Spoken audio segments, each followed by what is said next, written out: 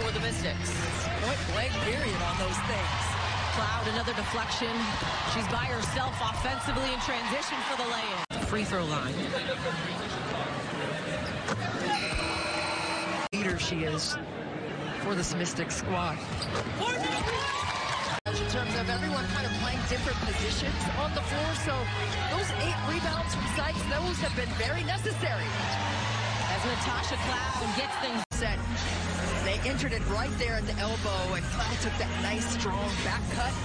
That's how you want to execute. Cloud's laying. I don't know how she got that. Warren Natasha Cloud kind of to pinch in on that particular play, so she's not left on an island with Laney taking a dive cut to the rim. Cloud with space. Takes and makes.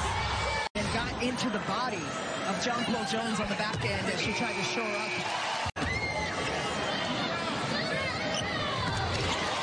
Gets both free. The last time these two teams met, it was a one-point win for the Liberty in overtime.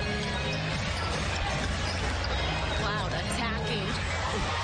Just slip that Work. 12 of them so far. Only seven for Washington. Cloud left open. Long two, foot on.